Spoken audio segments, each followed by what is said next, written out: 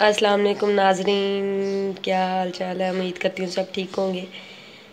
गर्मियों का जैसा कि आपको पता है बहुत ही ज़्यादा तगड़े वाला मौसम आ गया गर्मी वाला।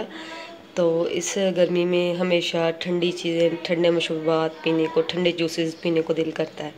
इतनी तगड़ी गर्मी में तो यही दिल करता है। तो ज़्यादातर लोग जामिया, शीरी या रूह अफ़ज़ा या भाई नींबू पानी पीते हैं। लेकिन मुझे गर्मियों में ज़्यादातर ना फालसे का जो जूस होता है ना फ्रेश घर में होममेड वो ज़्यादा पसंद है ना। तो मैं वही ज़्यादा बना के पीती हूँ। तो कुछ ख़ास तो नहीं इसमें होता, लेकिन बनता तो इजी सही है, लेकिन मुझे बड़ा पसंद है। तो मैंने कहा, मैं आपको भी बताती हूँ मैं कैसे बनाती हूँ। जिसमें अब मैंने ले लिए एक पाव फालसा लिया है। उसमें हसब ज़रूरत चीनी, चुटकी एक नमक और पानी बनाना है। तो कई लोग इसको बड़ा थिक रख के पीते हैं और कई लोग मतलब ना अपनी मर्ज़ी से लाइट सा मतलब इतना थिक नहीं रखते हैं मतलब बना के पीते। तो मैं भी इतना थिक बना के नहीं पीती तो इसलिए मैं बताती हूँ कि मैं किस तरह पीती हूँ, बनाती हूँ। हाँ जी जी, हम इसमें डालेंगे जो धोए हुए हमने फालसा, वो ग्राइंडर में। और हंस पे ज़रूरत चीनी।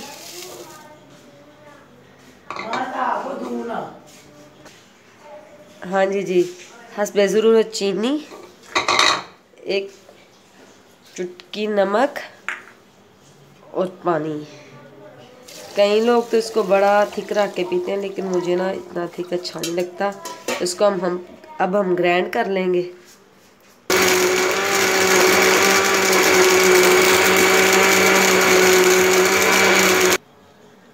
हाँ जी जी हमारा जूस हो गया तैयार।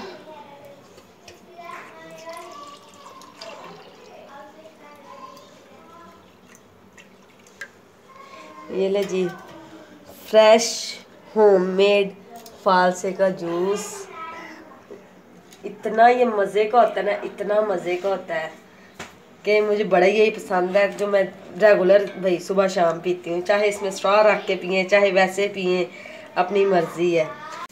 जैसा कि हम बाहर का जूस पीते हैं रेडीमेड डब्बे वाला मिलता है या बोतलें वगैरह गर्मियों में पीते हैं तो उससे जान छुड़वाएँ और ये फ्रेश जूस घर में बना के पिए।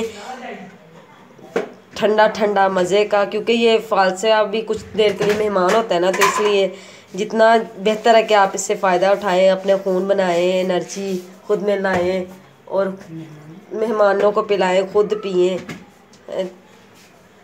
अगर जिस चीज़ को फालसे का जूस पसंद है, मुझे कमेंट बॉक्स में कमेंट करके बताए। और जिसको मेरी वीडियो अच्छी लगी हो, मेरी वीडियो को लाइक और मेरे चैनल को सब्सक्राइब करें। तब तक के लिए अल्लाह हाफिज़।